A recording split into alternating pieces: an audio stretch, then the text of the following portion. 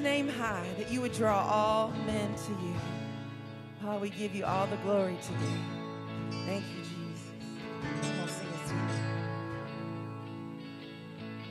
People come together, strangers, neighbors, our blood is one. Children of generations, of every nation, of kingdom come. Come on. So don't let your heart be troubled.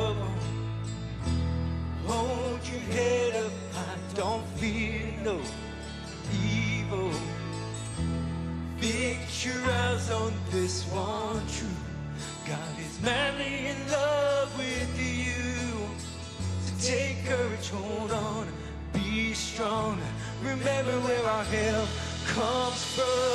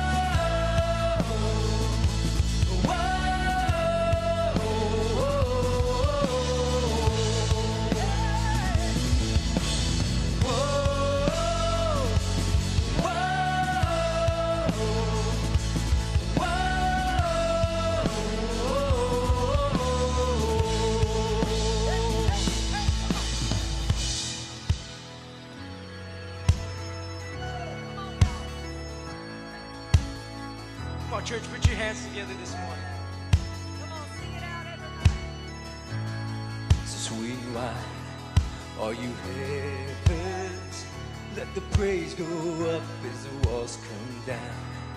Our creation, everything with breath, repeat the sound. All his children, clean hands, pure hearts, good grace, good God. His name is Jesus. Here we go. Sweet wine, all you heavens, let the praise go up as the walls come down. All creation, everything with breath, repeat the sound. All his children, clean hands, pure hearts, good grace, good God. His name is Jesus. Come on, we're gonna sing it again. So sweet wine, all you heavens, let the praise go up as the walls come down. All creation,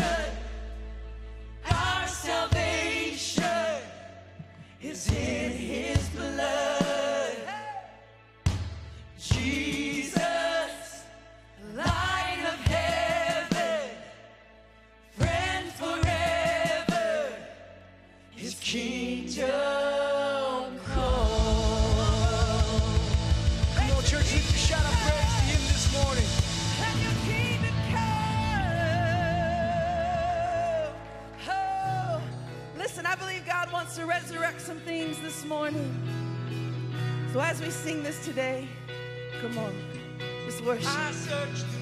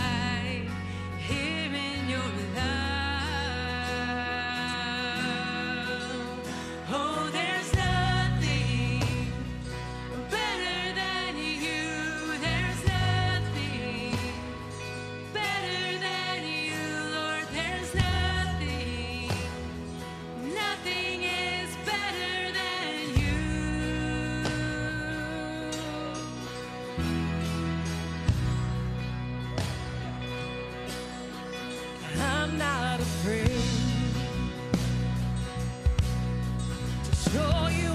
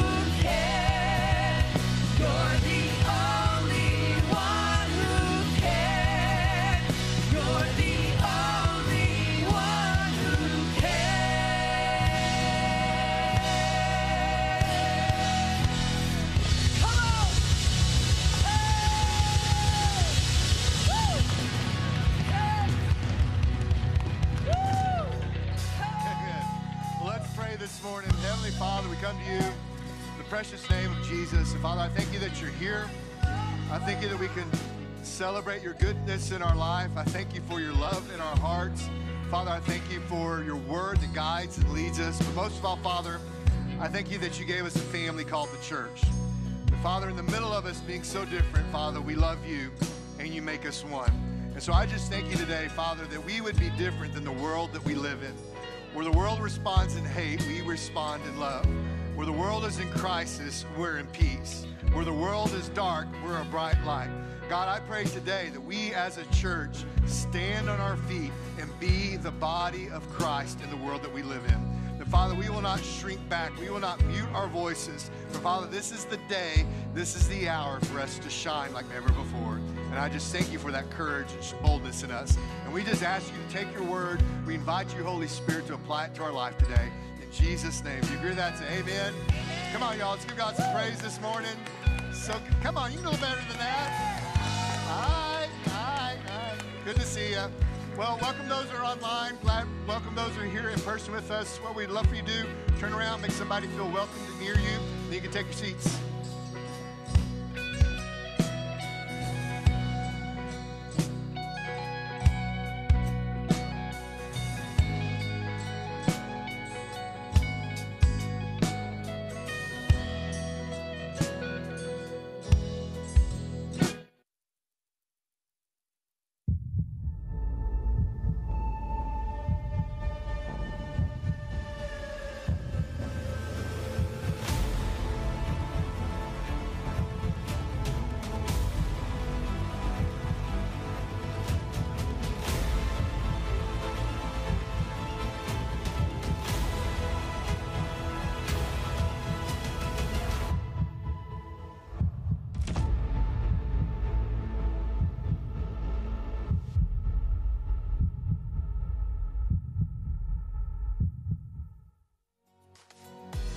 What's up, City Point? My name is Steven, and man, I'm super excited about that Lionheart event coming up. But before I get ahead of myself, welcome to all of you who are either visiting or watching for the first time. If you'd like to learn more about City Point and what we're all about, text the word welcome to 972 460 9235. You'll receive a little form from us, and once you fill it out, our team will connect with you and answer any questions you might have. All right, now back to that teaser. I don't want to give away too much right now, but we're having a Lionheart men's tailgate here at the church on Friday, October 23rd at 7 p.m. We'll have more details for you next week, so just go ahead and clear your schedule for that Friday night so you don't miss out. All right, I've gone on long enough. Let's continue the service and get ready for Pastor Eddie and the word he's bringing to you in week four of our September series, Align.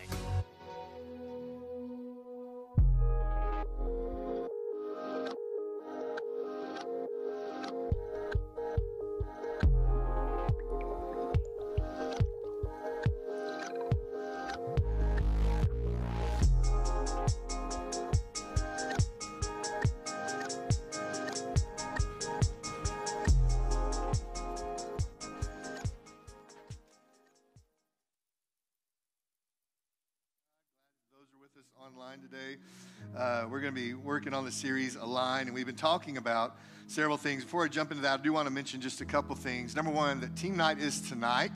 Uh, for those who currently serve or you're interested in serving, we invite you out. I know it's tough to get back out on a Sunday, but we'd love to see you here. We want to talk about this fall, and we have a message. Actually, it's a guest speaker uh, that has something to say to us, and I think will encourage us um, and strengthen all of us. So I encourage you. It's worth the trip. It's about an hour and a half. Uh, we're going to have childcare for those who have children that need care, and we will care for your children. So. That's, okay, that's, I thought that was funny. So, um, anyway, we'd love for you to be out here. Uh, next thing is on the 18th of uh, October, which is next month, middle of the month. We're gonna have an encounter night, and I can't wait. We also have a we have a we have a special guest live and in person who's gonna share a word with us, and it's a gift that God talks about in Scripture that He says not only benefits the saints, but also the sinners. And I'll talk to you more about that in the month of October in that series but really just to utilize the tools that God has given us for days like this. And I can't wait for you to be part of it. So make sure you clear your calendar for uh, the 18th. And as Stephen mentioned in the video, which is kind of an epic opener. I was like, I feel like I need to have an axe or something while I'm talking about the men's thing. But we're going to have a great night. It's going to be a worship word, and then we're going to have a chili cook-off afterwards. So I encourage you, men, come on out. Wives, if your husband don't want to come, just lock them out of the house. Tell them they can't come home till they, and then you can. I'll tell you what questions to ask them. Make sure they came. So, uh, but we'd love for everybody to be here and be a part of it. It's going to be a great night. We're unable to do our men's retreat, so that's why we're doing this event. Uh, so, in our Align series, we've been talking about aligning our politics, about our priorities, and our hope. And today, we're going to talk about aligning our influences. And this message, I, I hope, really helps some people um, because I want to reveal, show something to you that I don't think the enemy wants us to notice. And influence is this it's to have an effect on the character, the development, the behavior of someone or something, uh, or the effect itself. And so, influence something is powerful, it, it's also subtle.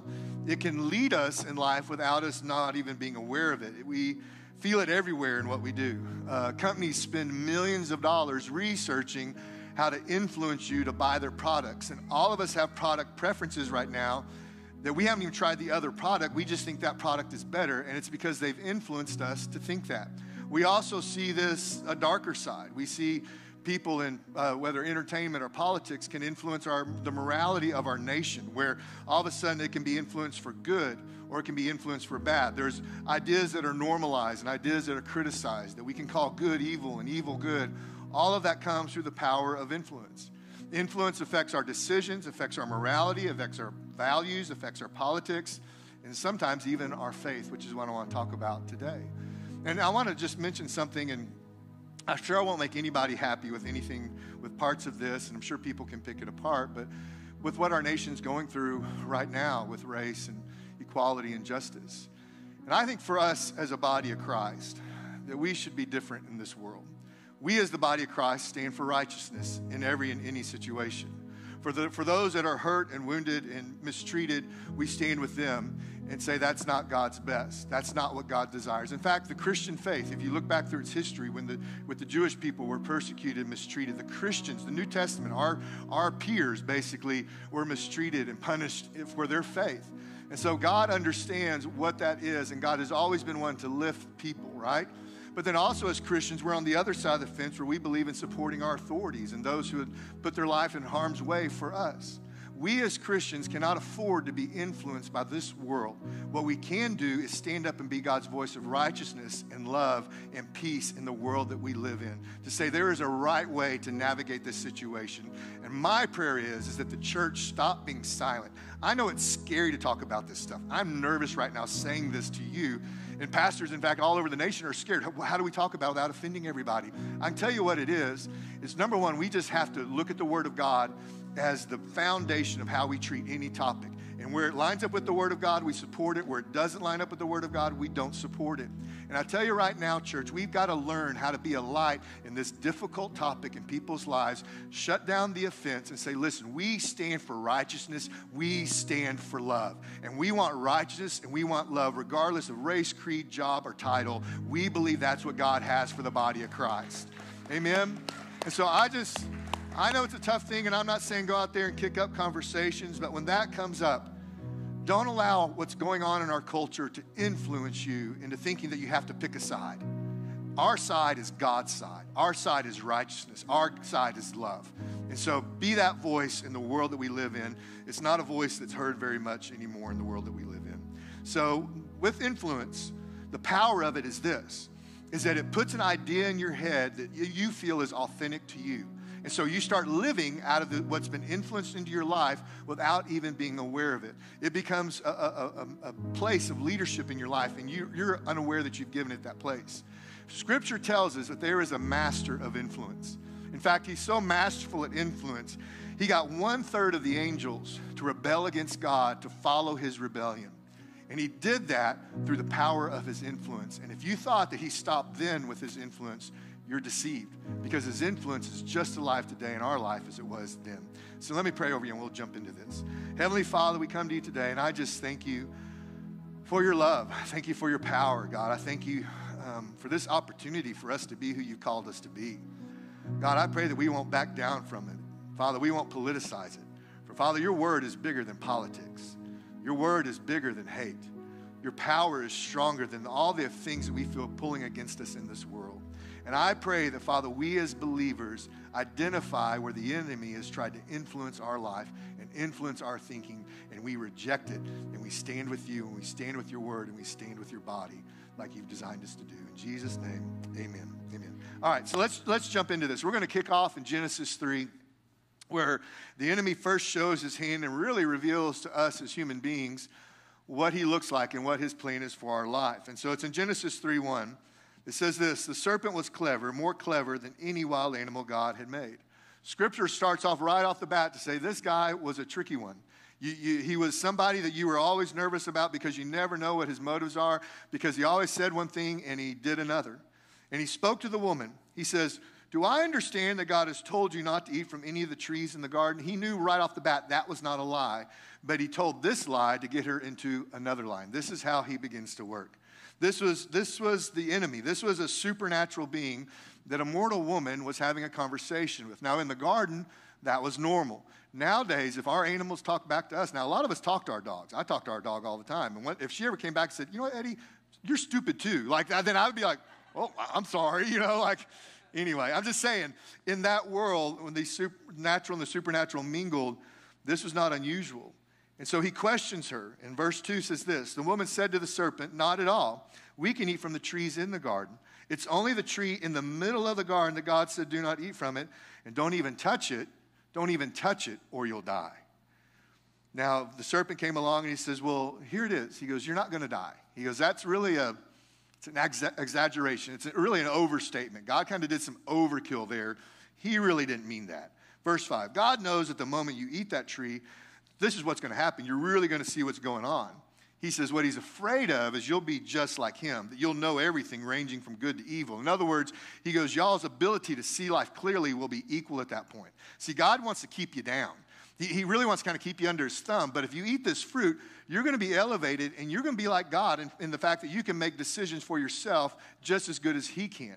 And so this is where the influence begins to start. He says, God doesn't know what's best for you. You know what's best for you.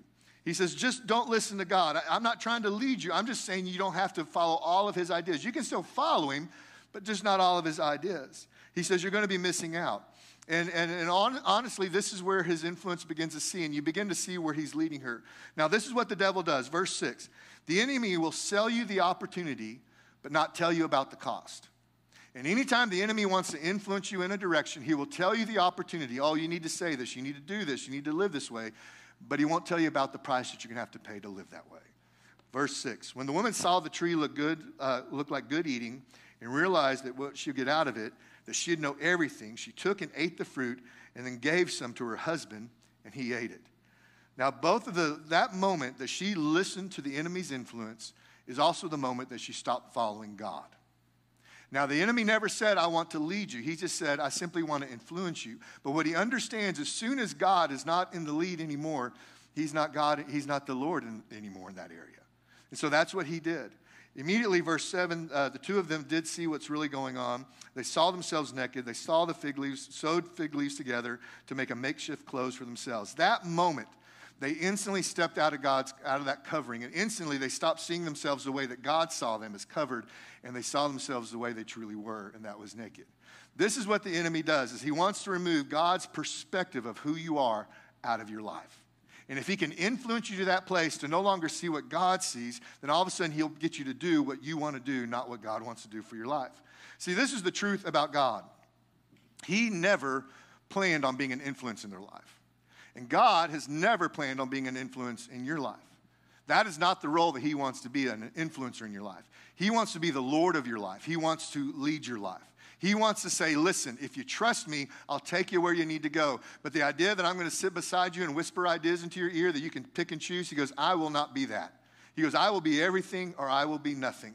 And so that's where the enemy wants us to push God into this place where He's just an influence. And you say, well, well, I think God is just loving and God doesn't really care. He just wants us happy. That's not in the Bible. God is love, but it is love like this. Uh, scripture used in the New Testament, Ephesians 5, it, it looks at our relationship with God like a marriage. And so a husband and a wife. Now, let's say within a marriage that one that both people, you know, they're married, they're in love. One of the people are just they're doing their very best in the marriage. If the other one steps out and has infidelity, commits adultery, does that person still love that one that hurt them? Absolutely. But does that person necessarily trust that person or want to be in that relationship? Well, it really depends whether that person can repent and have that marriage restored or that person, that relationship separates. But in the middle of that, there's still love that was in that relationship. God loves us, but that does not mean He just takes everything that we give to Him. He says, I love you because I love you. I want to do what's best for you. Now, what the enemy does in this life is, is he understands that he wants to influence our life so that we are influenced away from God's leadership in our life. Influence says this this is what the enemy does. He says, choose what's good for you. Influence says, do what's right for you. God says, follow me and trust me.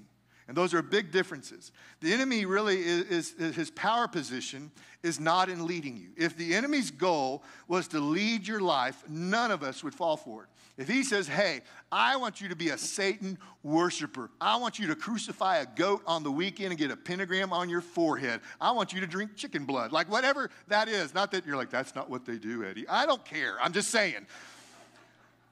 If, if that was his power position, if that was his thing to say, listen, I want you to be a worshiper of me, he knows that the vast majority of people would not do that because it's way too transparent.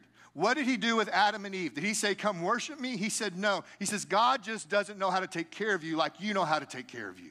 And that was his power, that was his influence. And since that day, the enemy has been walking into our life saying, Listen, God really doesn't know what's best. You know what's best for you. Do what works for you. And if it happens to coexist with God's plan, super. But you're not hurting God and you're not hurting yourself to live under the influence of somebody else. See, his move is always influencing. That's why you hear these things in your heart like, did God really say that? Did God really mean that? I mean, it, it, it's, but it may be the wrong thing to do, but it feels right to me. Is it, if you do it, it's not going to hurt you? That's the enemy's influence in our life. His goal is to take us from God leadership to self leadership in areas in our life. He's not trying to get you to be a devil worshiper. He's just trying to let you be in the power position like Eve put herself in that situation to self leadership. If we want God to be an influence, what we're saying is, I know best, and I appreciate your advice on this situation. And God says, That's not who I want to be in your life. So today I want to share three strategies that he used in the life of Jesus that I think that we can learn from. Now, we have to understand this from the very beginning of Jesus' ministry, the enemy was trying to influence Jesus out of his purpose. And so we first really see this clearly uh, in, his, in the early days of his ministry where the Holy Spirit led Jesus to a place of testing, and it was also a place of fasting. So he fasted for 40 days and 40 nights. Um, if I did that, I would not be around anymore. I, I don't know how he did that. That was God's grace working in him, God's power. So the enemy did not tempt Jesus in these scriptures to, like, hey, let's go to Mardi Gras. He didn't tempt Jesus to say, hey, let's, uh, let's go rob a bank. No, he tempted Jesus along the lines of his purpose and to shift and influence him off of what God had for him. So let's look at it. Matthew 4 3. The tempter came to him and said, If you are the Son of God, tell these stones to become bread. And Jesus answered, It is written, Man shall not live on bread alone, but on every word that comes from the mouth of God. He says, The first thing, he goes, Listen, he goes, If you really are the Son of God, I mean, if you are, then, then use what you have to, to, for you. In other words, he says, make it about you, Jesus. I mean, forget the needs, forget everything else going on, forget what God's doing. He says, make it, let's, let's be selfish. How can we make your faith serve you? That was his first temptation. Then, verse 5, it says, The devil took him to the holy city and took him and stayed him on the highest point of the temple. He says, If you are the Son of God, he said, Throw yourself down, for it is written, He will command His angels concerning you, and they will lift you up in their hands so that you will not strike your foot against the stone, which is a scripture. And Jesus said, It is also written, do not put your Lord your God to the test. In other words, the next temptation was listen, let me try to do this. Let me move you to a more of a, a reckless place with God's grace. If God's going to forgive you anyway, if God's going to redeem you anyway, why not just push the boundaries of that? And this is the next thing that I think the enemy tries to position us is he tries to live, get us to live on the edges of where God has for us. Because he knows if he can get us on the edge of it and abuse it, that one day we'll fall off that edge and hurt our own lives. But that was his influence. He didn't say, Listen, I want you to abuse God's grace. I want you to abuse his goodness. He just said, Let me pull you to a line and let me see if I can push you over that line. Then the next thing he says, um, verse 8 Again, the devil took him to a very high mountain and showed him all the kingdoms of the world and their splendor. He says, All of this I will give to you if you bow down and worship me. And Jesus said to him, Away from me, Satan, for it is written, Worship the Lord your God and serve him only. Then the devil left him, and the angels came and they attended to him. His last temptation was worship, a changing of his affections, to move what belonged to God to the enemy himself, to put something else first. Worship, biblically, is not just a song. What we did just a few minutes ago, yes, that is worship. But worship has always been bigger than just a handful of songs. Worship is a way a person lives their life, they live a worshipful life. And what the enemy was saying is, he says, Listen, I just need you to change your influences. I need you to shift your priorities. If you worship what I say worship and you put the things that I say important before the other things, he says, I can get you everything. He says it's going to be easier this way. It's going to be a shortcut for you. And this is where I think the enemy works in our life. This is the first voice that we often hear in our life. It's a voice of deception. It's a voice that takes a truth and twists the truth just slightly enough that it takes you off the path that God has for you. What did he do with Eve? Did he say he deceived her? He said, This is no, no, God didn't mean that. And the very first influence that we see in her life is that he wanted to take Jesus, wanted to use be selfish or use God's grace or, or deprioritize God. His baseline was that he, I just don't want you doing what God says the way God says to do it. You can still do it, but just in a different way. And this is it. This is what the enemy, and this is what this influence looks like in our life. We look for shortcuts, we take a shortcut. We say, I know what Scripture says, I know what the Bible says, but this just seems easier than that. And I don't really think that God cares if I do it this way or not. And as long as the enemy can influence us to take a shortcut, no matter what that shortcut looks like, because that shortcut was intended by God to lead us to a place of trust. And if we take the shortcut, we go out of that place of trust and we go into trusting ourselves. But this is what Scripture would say instead of taking a shortcut, in those places in your life, you take a stand. You take a stand. You say, you know what? Yeah, I, I, may need to sacrifice at this point in my life, but I'm willing to do it to obey God. Yes, church is a sacrifice. Yes, we are really busy right now. Yes, you know, our kids have a busier schedule than an NFL football player play, you know, in their sport league right now. Like we need a jet just to fly us around to our events for our kids' sports, but we're going to be in the house of God, right? Like it, it, it's literally, I understand that, that many of y'all on a Sunday morning, you had a long work week. This week is beating you up. And then all of a sudden, when that alarm goes off on Sunday, you have two choices. Either you go, yeah, we're going to go, or yeah, God doesn't care. And I think for many times in our life, what the enemy wants us to do is to keep pushing us off of the center of what God said because simply God said it. That's why we do it. And the enemy's influence is this not to say that God is dead and God isn't real and the Bible isn't real and all that. He simply says God doesn't really mean what he says, so you can really do what's best for you. And when we live that way, all of a sudden we open our life up to his deception. The next thing is this it's the next influence was in Matthew 16. From then on, Jesus began to tell his disciples plainly that it was necessary for him to go to Jerusalem, that he would suffer many terrible things at the hands of his elders and the leading priests and the teachers of the religious law. That he would be killed, but on the third day he would be raised from the dead. Now, this Jesus began to tell them plainly. Now, before he was talking cryptically about what would happen, but now he just comes out and tells them the plain truth. And Peter took him aside and began to reprimand Jesus, saying such things Heaven forbid, Lord. He said, This will never happen to you.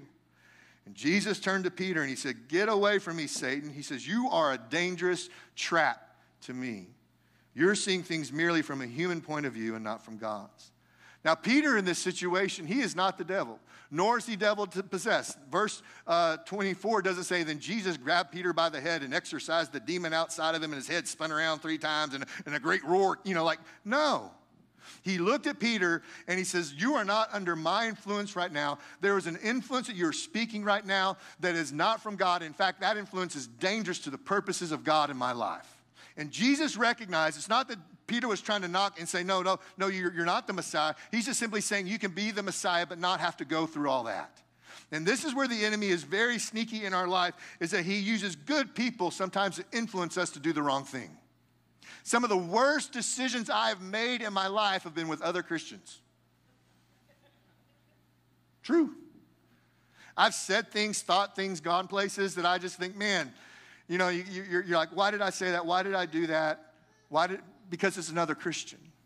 And I think for all of us in this room, what we have to understand is that the enemy knows how to get to you. And he's not going to send a stranger sometimes in your life. Sometimes he's going to plant somebody who's going to tell you things that are dangerous for you.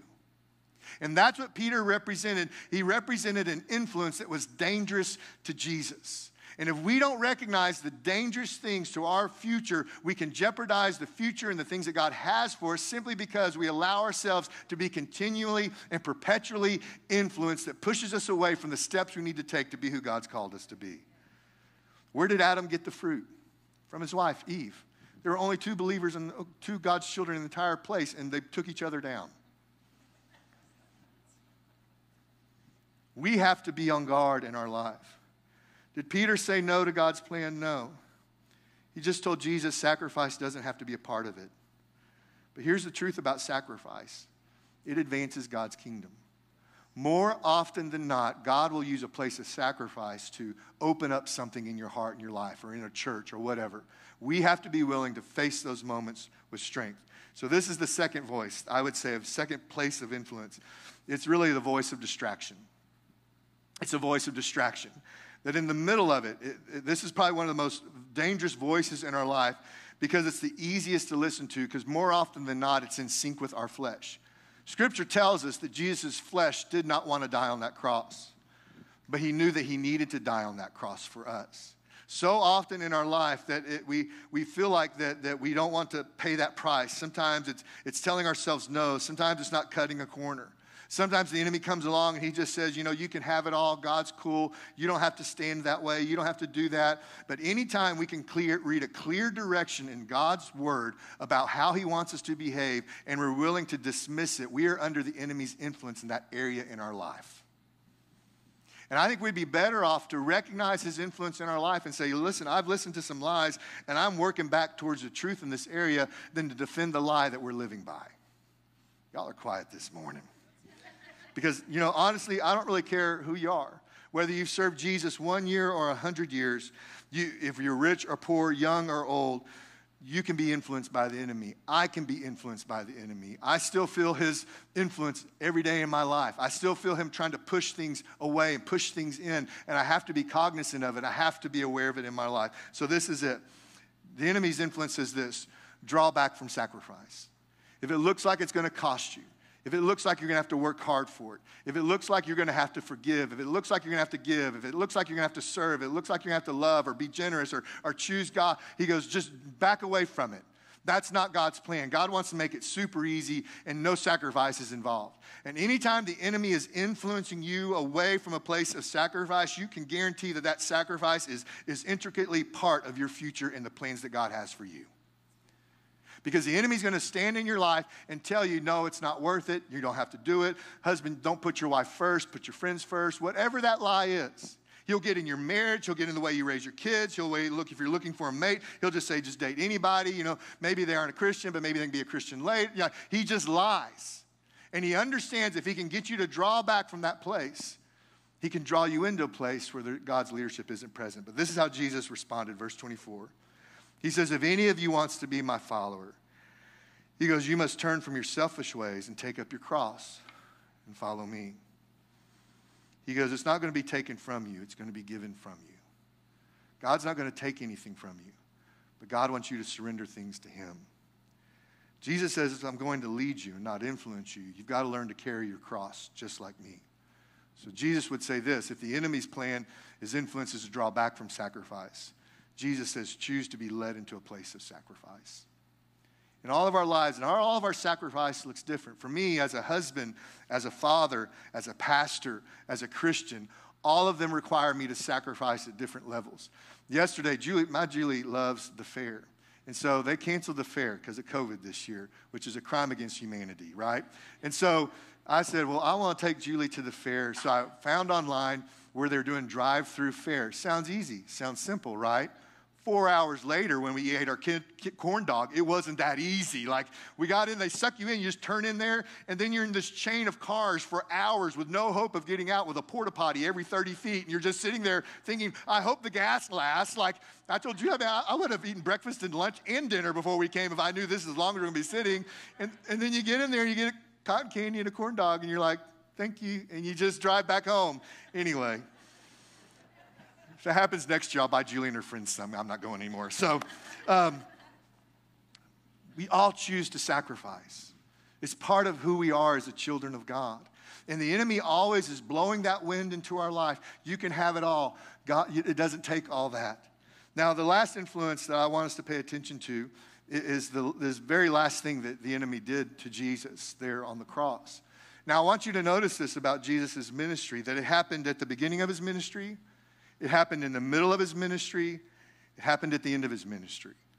You have to recognize this the enemy is never going to stop trying to influence you. He'll change what he influences, but he will never stop trying to influence you. When you're single, he wants to influence you a direction. When you're married, he wants to influence you in a direction. When you have kids, he wants to influence you. When you go to church, he wants to influence you. When you don't go to church, he wants to. He never quits, he never gives up. His goal is to destroy what God loves.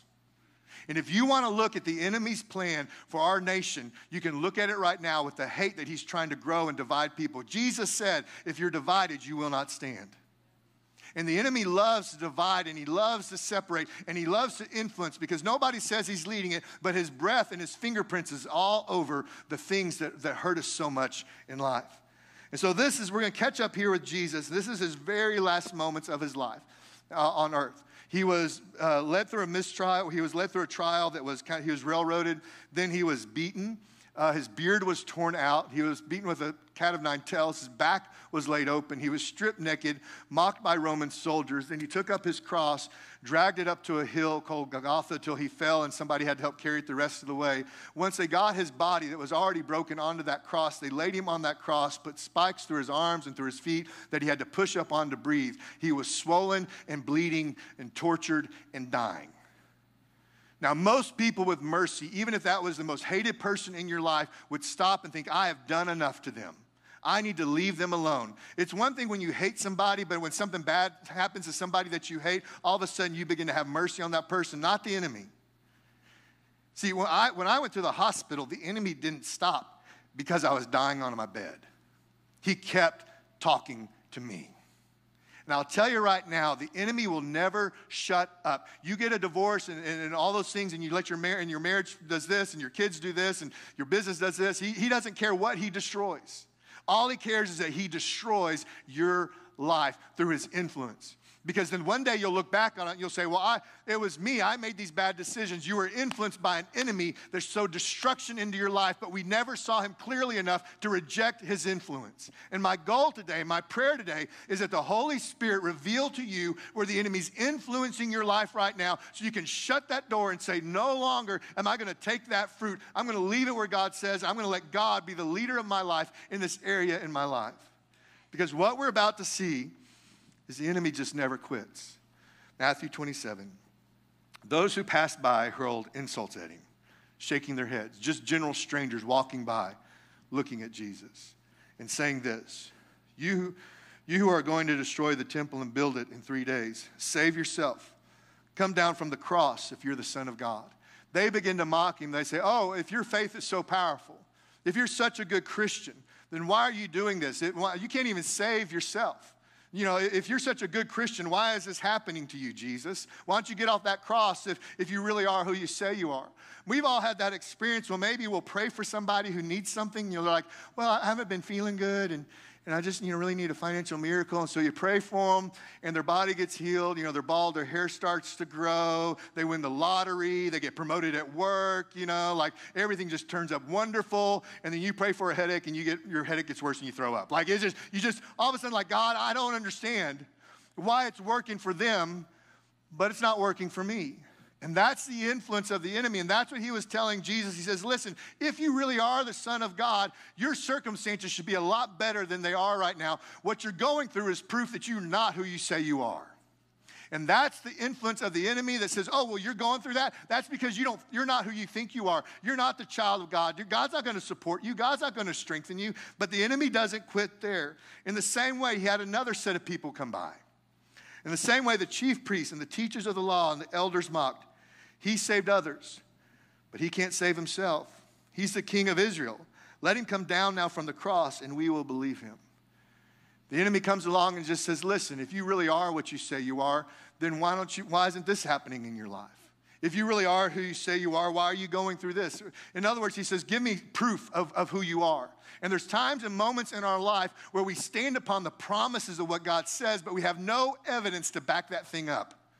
It's Hebrews 11:1 that says the evidence of the things we hope for is the faith that we have. And there are moments where there's an end when you're standing in that place of believing for something that you can't tangibly touch or make happen when the enemy comes along and says if it was really going to happen it would have happened by now.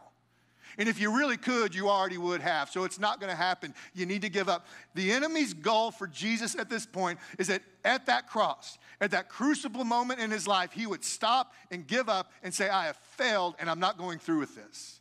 He was trying to get him off of that cross. All of them were pushing them, get off the cross, get off the cross, get off the cross. Why? Because if he got off the cross, he would fail at his mission to reach and save people. And the enemy is always coming along with his influence, trying to get you off the cross to get you to back down from the things that you know really, really matter in your family and in your faith and in your nation and in the people that you love. Because it's not working. It's not working the way you thought it would work. If it was, if it was really going to happen, it would have happened by now. Why are your kids acting like this?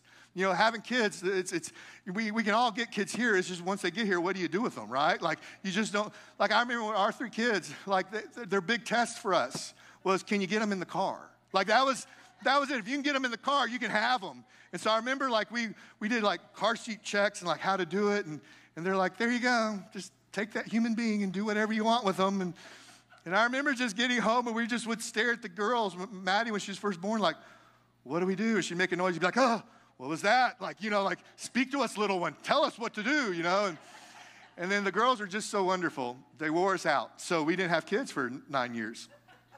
And, uh, and then we decided to have Hudson, which was kind of a just, we were like, hey, we'll just see what happens. And little dude came along. And I remember our first doctor's visit we went to, we were kind of out of practice as parents. And so we went into the visit, and everybody else brought their babies in the car seat. And, and we just carried Hudson in. And then we were so tired that all Julie packed was a baggie with a snot sucker in it. And that was it. No diaper bag, just a baby and a baggie and a snot sucker. And so we go in there, and, and, uh, and, and, they lay Hudson down and they pull back his diaper. And little boys, when that happens, it's like Old Faithful goes off. And, and so he just peed all over the stuff. It was like a little storm in there. And, and so they're like, okay, Miss Woods, can we have a diaper? And I remember Julie made eye contact with me, like, I didn't bring one. And I was like, you didn't bring one? She goes, and she just held up the baggie with the snot sucker. I'm like, what are we just going to suck it all up? Like, what? And so we became the, the, the, the, doc, the pediatrician's project. They walked around door to door um, excuse me, do y'all have a diaper for a newborn? We have a couple that doesn't have one, you know. And, and I remember the nurse came in, she goes, Oh, is this your first one? And we're like, No, it's our third. We're just really, really bad at it, you know. And I remember we got the, the, the stroller out, and it's new. Like, it, a lot happens in that technology in nine years. And the old one, I'd have to like hold these two buttons and I'd fold it. Like, it's kind of like mainly to do. And this one just has like this little button. And I remember I pulled it out of the car, and Julie's getting Hudson ready, and I'm thinking, she cannot see me not be able to operate a stroller. So I'm just shaking it really hard. And this lady's pushing a stroller. She just walks by. She goes, Sir, it's this button. And she just punches it, and it unfolds. Anyway, so like I said, being a parent's not always easy, and sometimes you just don't know what you're doing. And the enemy comes along, and he tells us, You're not smart enough to do what God's called you to do. You're not eloquent enough. You're not gifted enough. You're too ugly, right? You're too smart. You're too whatever. And he wants to talk you off of the cross. Verse 43 says, He trusts in God, let God rescue him now if he wants him. For he said, I am the Son of God. And then the final insult to it all was verse 44. The crowd, the Pharisees, and now the criminals hanging next to Jesus. It says, in the same way, the same voice. Quit, give up. You failed. Prove yourself. If you really are what you say you are, it should be happening by now. That same way the rebels were crucified with him heaped insults on him. In Jesus' very last moments in his earthly body, in that earthly form, the enemy still did not give up trying to influence Jesus out of what God has called him to do. We have a spiritual battle on our hands that most of us, most of the time, are blind to. We think it's just our thought life, but it's an enemy trying to move, of, move us off of God's leadership in our life to move to a place of self leadership where we interpret God's word according to what's best for us, not interpret God's word what's best for us. And the enemy will never give up. The enemy wanted to destroy Jesus' confidence in what he was doing. And the enemy to this day is still trying to convince us that what we're doing is not going to work in our life, that there's a better way, it's just not God's way. And when the enemy comes and speaks that influence in our life, this is the voice he typically uses it's the voice of failure. You failed, you sinned too much, you made too many mistakes, you ruined your marriage, you ruined your kids, you, you ruined your business, right? You ruined your reputation. It's not going to happen. You just need to give up and walk away, call it a day. You wouldn't be in the situation you're in. If you, if, you were, if you were a success, you wouldn't be going through what you're going through right now. He wants to convince you and influence you that who you are, not what you did was a failure, but who you are is a failure. That maybe you had a bad day. Maybe you made a bad decision. Maybe you made a mistake. Maybe you had a bad business partner. Maybe you said something to your spouse that you shouldn't have said, or something to your kids. And all those things you can repent and change and transform. But the enemy says it wasn't an event, it's you. You're the problem. You are a failure. God cannot use your life anymore. You might as well give up, pack it up, and stay home because the game is over. And what the enemy was trying to convince Jesus of on that cross is you're hanging there as a failure. God sent you on a mission, Jesus, but you failed at it. And all of us have been under the influence before of that voice of failure, of that influence that steps into our life and just says, You're not going to make it, so why keep trying? That's the voice of the enemy. And this is what it sounds like it says, You're not who you think you are. You're not who you think you are. Well, what do you think you are? You're a great wife, huh? Think you're a great husband, great son, great pastor, great business leader? Huh? What do you, what do you think you are? Oh, you think you're going to be a mom? No, that's not going to happen. That's not going to happen. And that lie gives him access to influence your thought life in a direction that God would never lead you to go. He'll never say, I'm in charge of this, but he'll just let the rabbits run in your life. He'll let the fire burn. That's what he says. And it may be true. It really may be true that you're not really who you think you are because you really are who God says you are. And that's the truth about your life. Sometimes the, they, they didn't recognize Jesus, but Jesus didn't need to be recognized to be who God said he was called to be. People don't have to applaud you. You just got to be who God's called you to be. Instead of listening to the, the enemy's influence, listen to God's voice. Malachi says this But for those who fear my name, the Sun of Righteousness will rise with healing in his wings. He says, You'll go free, leaping with joy like calves led out of a pasture. He says, For those who fear him, he goes, You're going to rise. You're not going to sink. You're not going to fail. If you trust in me, you're going to rise. You're going to overcome. You're going to be victorious. God's going to redeem. God's going to restore. God's going to make whole. He goes, Simply if you trust in me. Ephesians puts it this way For we are God's masterpiece, the finest work of an artist. The thing that he points to, and he says, if you want to see my talent as an artist, that's it. That's my masterpiece. That's what I can do. Scripture says you are God's masterpiece. He's a statement to the world of who he is and what he can do. He's a statement that says, I take broken things and make them whole. I make broken people and make them overcomers. I take the sinful and I make them righteous. I take the broken marriages and make them whole. I take the broken hearts and restore them. I take the weak knees and make them strong. I take the people who are tired and I give them the strength they need. I wipe away the tears and put in joy. I make my home on the inside of people. They are my masterpiece. They are not my mistake. They may be your mistake, but they're my masterpiece. So many of us struggle with that right there that we're God's masterpiece, that God applauds us, that God's proud of us that God's impressed by us. Because He made us, because He loved us, because He gave everything so that you could stand on your two feet and worship Him. He invested nothing, He invested everything He could to get you where you are today.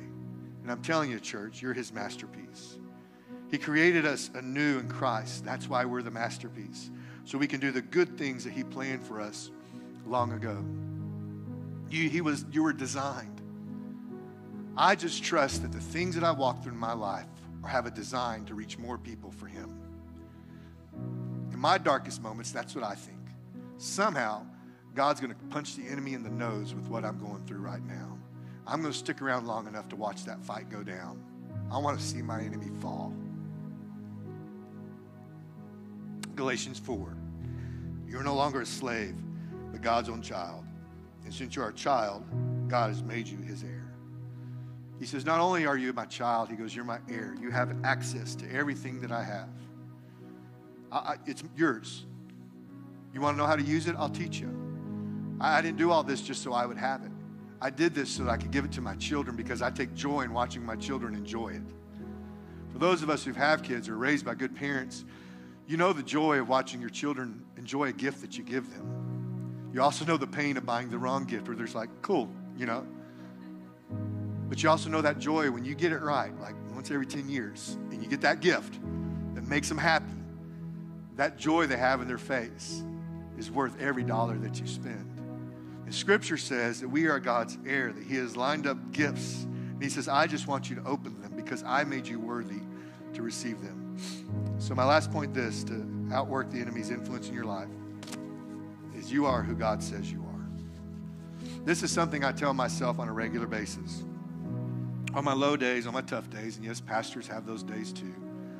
I say, I am who God says I am, and I can do what God says I can do. I am who God says I am. I can do what God says I can do. And that little simple saying has saved me for years. Because there are moments when I just want to back up and say, man, I don't think I'm who God says I am, and I don't think I can do this. And I remind myself, I am who God says I am, and I can do what God says I can do. There is nothing impossible to you in this room today. Whatever God has laid before you, you can do it and you can overcome. There's nothing that you are under right now that you cannot get on top of. There's no hurt in your life that cannot be healed.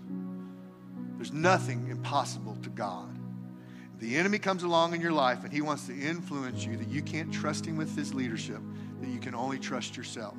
And that's the enemy's plan for your life is to use his influence to stop trusting God and start trusting in yourself because he knows you cannot save yourself. Only God can. Let me pray for you. Heavenly Father, I just thank you for everybody that's in this room today. God, I thank you for the power of your word and of your spirit. I thank you, Holy Spirit, for speaking to us. I thank you, Holy Spirit, for working in us. I thank you for your word that's a lamp to our feet and a, and a light to our path, God, that you guide us and lead us, you challenge us. Father, I just pray for those in this room that are under the influence of the enemy in an area in their life. I pray that, Father, that is revealed today, that it is exposed. And that, Father, we reject the enemy's influence in our life. We reject the voices of failing. We reject the voices of distraction. We reject these voices of failure, God, in our life. And we just say, Your will will be done. And Father, I just come against depression and anxiety and fear and all the side effects of the enemy's influence. And I command that to go in the name of Jesus. And I thank you that we're free, that whom the Son sets free is free indeed. So, Father, I thank you today for giving us light in our dark areas. That, Father, we move our influence, Father, from influence to your leadership. In Jesus' name, amen. With every head bowed, every eye closed, if you're here today and you don't have a personal relationship with God, but you say, Today, Eddie, I would like to begin that relationship or even renew my relationship, whether you're online or here in person with us, with every head bowed, every eye closed, if you say, Today, I would like to begin my relationship with God or renew it, I'm going to pray a prayer with everybody in this room. If you say, Hey, please include me in that prayer, can you raise your hand real fast? Can see who I'm praying with this morning. So I can who it is today. Amen. Amen. Thank you. Amen. That's awesome. Let's say this prayer with those who raise their hands, whether online or in person. Just say this after me, everybody. Say, Heavenly Father, I ask that you would forgive me of my sins. I ask you to be the Lord of my life. Thank you for saving me. Thank you for the gift of salvation. Fill me with all that you have for me. In Jesus' name, amen. Give God praise for those that made that decision today. Um, if you made that decision, we want to celebrate with you. Text uh, the number on the screen. It's also on our next step card. I don't have one here with me.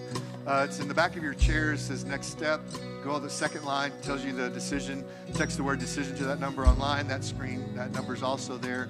We'd love to hear that from you and celebrate with you. We're not done yet. I want to do a couple things before we go today. I want to remind y'all that on uh, October the 4th, we receive our Heart for the House offering. Our Heart for the House offering is going to accomplish two things. One, it's going to help replace mics where the frequencies have been sold. And actually, June was the expiration date of that, so we need to get moving on this. Uh, that's we planned it earlier in March, but COVID hit, so we didn't receive this offering. Second part is to help us with our online church experience. There's still equipment we need to buy and purchase to be to make that happen. And so the total we're shooting for is forty-two thousand dollars. And all I'm simply asking you to do is just pray about what you can give. This is over and above your normal tithe, over and above what you normally give. This is a seed offering, basically. Second Corinthians 9 is a chapter that a good bit about giving. It says this Now he who supplies seed to the sower and bread for food will also supply and increase your store of seed and will enlarge the harvest of your righteousness. I believe all of us have seed. Some of us have it in our savings account, some of us have it in our checking account, some of us are going to get a check from work, a bonus or whatever, and God will say, hey, that's seed. Whatever that seed is, the scripture says we just sow that. And that's all I'm asking you to do is say, God, what seed do I have and how can I give it? For some, it'll be a, a, figure that you never dreamed about giving before. For some, it'll be something that you've already have it in your heart. Regardless of what it is, follow the leadership of the Holy Spirit in this area, and you won't regret it. And then also, we're going to receive our normal tithe and offering this morning. Proverbs 3 9 says, Honor the Lord with your wealth, with the best part of everything you produce. Um, I'm going to pray. Uh, we will not be passing a bucket. We have uh, offering boxes on both sides of the sound booth and in this little hall if you want to give it in person. Or you can just throw it in the air and we'll come around and collect it later. We don't really care. Uh, you can give by text or online, however you want to do it. We're just grateful for your honoring God and worshiping God with what He blessed you with. It's part of a lifestyle of worship. So let me pray over our giving. Heavenly Father, we just thank you for this opportunity to give. And we worship you with what you blessed us with. And I just thank you today as we give that, Father, I thank you that you'll bless what remains in our hands. And Father, you are faithful. And I thank you that we'll be good stewards as a church. Father, we'll be good stewards as individuals. For Father, it's not ours. We're simply managers of what you bless us with. In Jesus' name, amen. Uh, last thing we're going to do today is we want to honor the teachers among us. Proverbs 22 6 says this start off a child on the way they should go. and When they're old, they will not depart from it. Teachers stand as a very unique role in the lives of those of us with children. Uh, I remember that some of the teachers that had big influences on my life. And I know for those who teach in public school, your ability to bring your faith into the classroom is very limited. But I think what's not limited is who you are as a light in a dark world. I know what's not limited is the, the, the presence of God that you bring into that classroom. I know what's not limited is when a child with a broken heart talks to you, your ability to not only educate that child, but minister to that child wherever you're at. And so we value what our teachers do. I know it's been a stressful season for y'all. As a recipient of uh, you know, we had a kid, Hudson's done online and in person. I can only imagine the stress that you're under and do that. So we as a church just simply want to say, hey, you're doing a great job. We're here for you. We're praying for you. And so if you're a teacher here in the house this morning, can you just stand and we want to just acknowledge you and honor you this morning. Just please stand right where you're at. Come on, guys. All right. Thank you for what you do. And uh, we're just going to pray for you real quick. Uh, you can remain standing. Hold on. We're not done. We're not done. I, I, get to do to you what you do to the kids, right? I make you stand up. I need an answer in the back, please. Uh, my third point was um, anyway. So let's. Uh, I want to pray for y'all. So just stretch your hands towards them. Let's pray for them. Heavenly Father, I thank you today uh, for these wonderful people standing among us, Father, who give their life to the education of children. Father, you said these children's angel is always before you. That Father, they're precious in your sight. And I just pray, Father, for these educators, Lord, that your grace would be on them that, Father, during this stressful time, that, Father, they'll find peace in you. And, Father, not only that, they would bring that peace into the classroom, that, God, you would use them in the lives of these children. Lord, I pray that you would protect their homes and protect their families, Father, from any sickness or disease, God, that you would watch over them. And we just pray your blessing upon them for what they do. In Jesus' name, amen. All right, let's give them a big more hand. Now you can take your seats. Uh, we have a gift for you. Uh, Uh, it's in back of the auditorium. It's my left, your right. It's this outside wall here. It's our information booth. Stop by there. Tell them you're a teacher. Uh, they, they're not going to need documentation or anything. They just, if you say it, we believe it because it's church, right? And so we want to give that to you. You say, well, I don't know if I want a gift. Stop it. Take the gift. We bought it already. So just take it, please. Um, we don't want it back. So take it. It's not much anyway. We just simply want to say thank you. So anyway, I, we're going to continue this next week. I hope this blessed you this morning. And I pray that, that really the enemy has lost his influence in your life in the areas that you'll see it more clearly than ever before. So, Andrew. Let's give it up for Pastor Eddie. That was an amazing message. That was awesome. It was great. And I just want to reiterate if you did make a decision today, whether uh, you're watching online or if you were here in person, please let us know. Uh, we'd love to celebrate with you. You can text decision to the number that's on the screen. And again, like Pastor Eddie said, there's that next step card in the front pocket. Um, feel free to text that and get connected. We we definitely want to share with you your next step, but we also want to pray with you. And I, and I think through this message of influence, uh, we recognize that you know it can get tough. But when it gets tough, this is why we're not all beamed up in heaven as soon as you get saved, right? We have each other. And so, what I would say, and what I want to do is invite the prayer team up uh, at this point. If you have a need, um, you know, or you you need prayer in your life, this is why we have our prayer team up here. I actually want to read a scripture. It says in Matthew chapter 18, verse 19, it says, When two of you get together on anything at all, uh, anything on earth, and make a prayer of it, my Father in heaven goes into action. And when two or three of you are together because of me, you can be sure that I'll be there.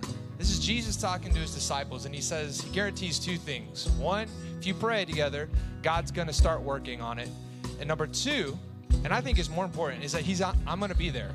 And maybe tonight or today you're you're not in a situation where you need a solution. You're in a situation where you need somebody. Like you need his presence. And, I would just encourage you, man, if that's you, come up here and, and pray with these guys. We want to we want to connect with you and we firmly believe that prayer is not an Hail Mary pass, right? Prayer works. And we believe that you'll be able to, from the moment you start praying, have the presence of God in your life. So I encourage you with that. Uh, before I let you guys go, let's all stand. A couple things. If you're new here, welcome. Make sure to stop by the Next Steps table in the Life lobby. Get your gift from us. Also, our team member would love the opportunity to talk with you guys. And the last thing is, we've got team night tonight, which means if you serve in any capacity, that's right, it's gonna be fun. Um, come, hang out with us. We're going to be inspired about the next couple months. Also, we have a great time. And if you say, Well, I'm not a point team member, but I have FOMO and I really want to come, uh, hey, come hang out with us. Learn what it means to be a point team member, and we'll definitely get you plugged in. So uh, that's tonight here at the church, 5 p.m. Let me pray for you guys as we leave today. God, I thank you, Lord, for uh, the opportunity to be able to come together as a family, whether it's online or in person uh, to worship you, to hear and be encouraged by your word. Holy Spirit, I just ask that this message that's within all of us that we've heard today, let it not just be something that goes in one ear and out the other. Help us to be inspired by this message. Help, help us to be on guard against any influences of the enemy. We just thank you, God, for the opportunity to hear your word uh, from Pastor Eddie. We, we thank you for his leadership and how you are leading him in his life. I I thank you, God, that as we leave today as one church body, Lord, that you're influencing us, you're leading us, excuse me, uh, into your purpose. And I, and I thank you, God, for just the opportunity to come together. I thank you, Jesus, for your sacrifice. It's in your name we pray. Amen. Awesome. Hey, you guys have a great rest of your Sunday. We'll see you back here tonight, 5 p.m. for team night. Y'all have a good one.